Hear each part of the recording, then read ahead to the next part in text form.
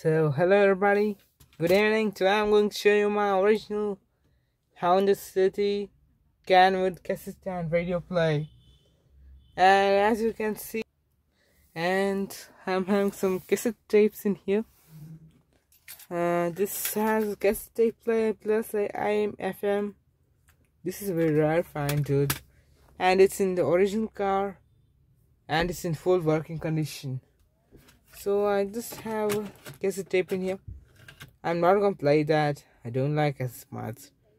But there are many options in here in the AM FM you have all select buttons and its original symbols. This is a wonderful system tone. Made in the 90s midnight. Imagine it's best.